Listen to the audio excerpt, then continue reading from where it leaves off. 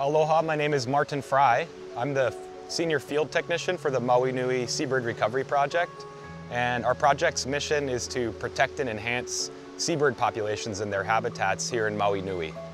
So I think everybody knows um, the impacts that, that cats can have on birds. They're known worldwide uh, for decimating bird populations. And that's especially true on remote islands like here in Hawaii, where there were no native mammal predators on birds. And so the direct impacts of uh, cats on birds here is that they prey on their nests. They take their chicks, they kill the adults before they're able to continue feeding their chicks long enough for the chick to fledge.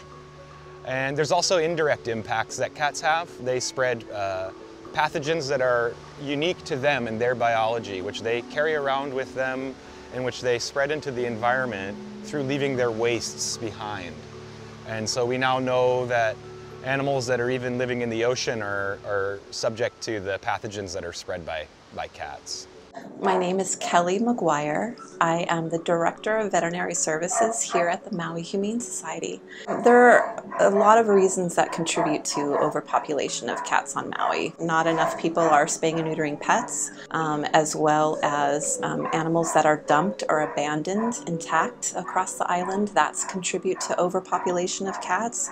Um, as well as in the mainland, you would see harsh weather or predators, and we really don't have any of those on Maui. How to control the feral cat population on Maui is a really complicated topic. Uh, it, it's going to take a lot of different approaches and everyone working together to achieve that. But I would suggest that the, the status quo, what we have going on right now with uh, what's called TNR, trap, neuter, release, I would argue that that is not humane and it is also not control. The current situation we find ourselves in with hundreds of outdoor cat colonies, as they're called, or sometimes referred to as community cats. These are concepts and terms that as wildlife professionals and protectors of native wildlife, we completely disagree with.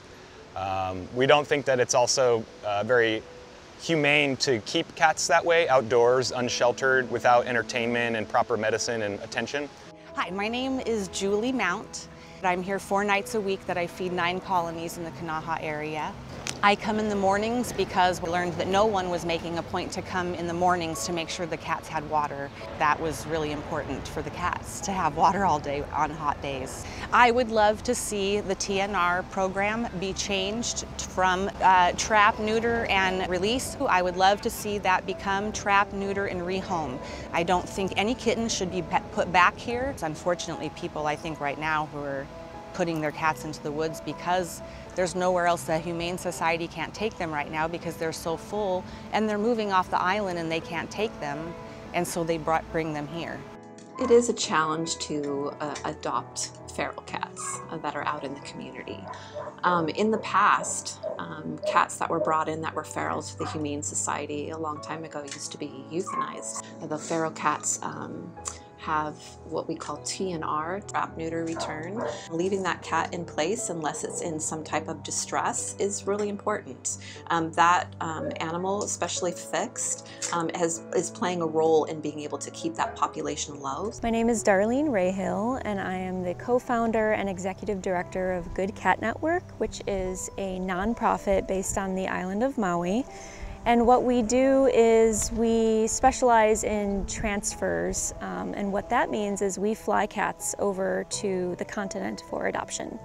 We were given a pretty wonderful opportunity to work with Aloha Air Cargo, um, and we're able to fly out 12 carriers of cats twice monthly through this whole program where we work with colony caretakers and other people in the community to get the cats out of the colonies and socialized and then um, onto the flights for adoption. If you see a stray cat, I think the first thing to look for would be the notched ear. So that is um, what identifies a cat if they're altered or not. Altered meaning spay and neuter. Even better, try to try to become its friend and socialize the cat and find it a good home, either through our organization or many others. If the cat isn't tipped or doesn't appear to be tipped, then I would um, come to the Humane Society and borrow a trap, um, set the trap and bring the cat in for spay or neuter and we can vaccinate and tip it and get it returned back to the area in which it's doing a really good job. Maui Humane Society offers low-cost spay and neuter. Um, we offer uh, no cost for those that are trapping feral cats in particular or community cats and traps and brought to us. It's really going to be a community neighborhood grassroots effort of everybody coming together and really um, being involved in um, active trapping and spay neuter. Um, and that's going to be something that's going to be, I think, the key factor for us going forward and having significant impact on overpopulation.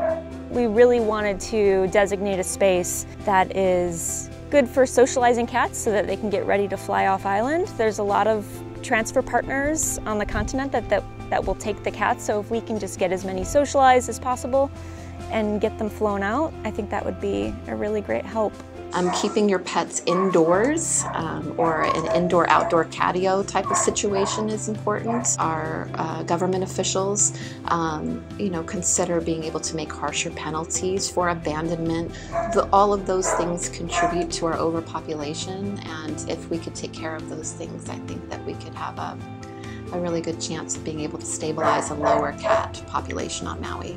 We would ask everyone to reconsider the idea of community cats and whether or not we as a community on this island really want to have a, a species that is so implicated in the, the harm to native ecosystems, such as house cats are, if we really want them living uh, free and at large um, on our island. There isn't one single answer and there's no one single solution. It's more about trying to work together as much as possible. I feel like if we're butting heads about what might work or what might not work, then nothing's going to get done. So it's really about um, working together.